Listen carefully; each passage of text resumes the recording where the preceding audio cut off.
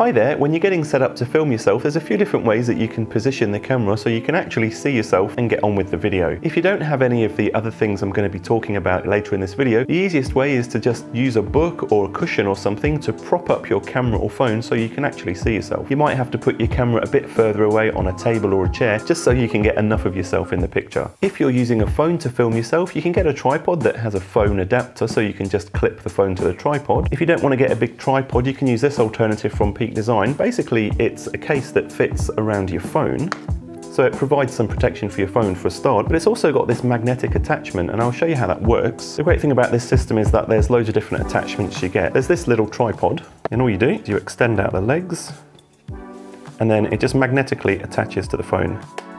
Then you can film either vertically like this or film normal widescreen videos. There's also other attachments that will clip to the case, like this mount here. Just show you how that works.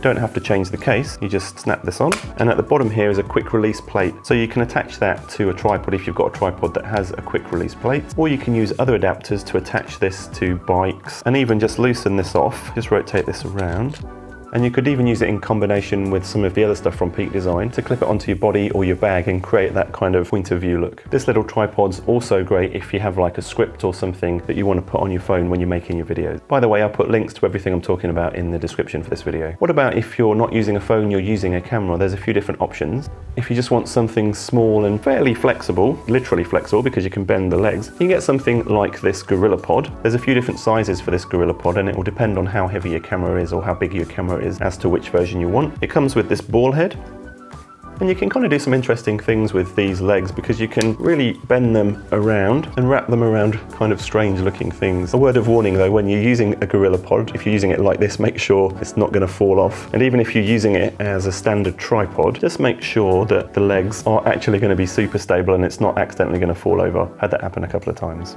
If you want a tripod that's going to go a bit higher than this thing, so you can put the camera at eye level, like I've got it here, you're going to want to go for a more traditional tripod. I've had this Peak Design tripod for years now and I absolutely love it. This particular one that I've got is a carbon fiber one, so it's even lighter than the other version. And I really love the kind of ball head that they've got on this thing. It's really easy to turn and position the camera to get the exact angle that you want. It also folds up really nice and compact for travel. You could of course go for an even more traditional kind of tripod like this Winston 2.0 from Three Legged Thing. The benefit of this tripod over the Peak Design one is that it actually goes a bit higher and if you extend the center column even higher, you've just got to be careful when you're extending the center column of tripods because they can get a bit more unstable and if you're filming outside with a lot of wind, you're going to get a lot of wobble. What I would say is whichever tripod you decide to go with, make sure it's got a quick release system so you can fit a plate to the bottom of the camera and then quickly slot it in and out of the tripod head without having to screw things together or fiddle about with stuff. It's just going to make filming videos a lot lot quicker and a lot more easy. Where you decide to position the camera and the angle that you set it up at makes a big difference to how you'll look on camera and how the overall video will feel. In this next video, you'll learn the power of camera angles and how you can use them to really take your video to the next level. I'm Jason Roberts, please subscribe and hopefully I'll see you in the next one.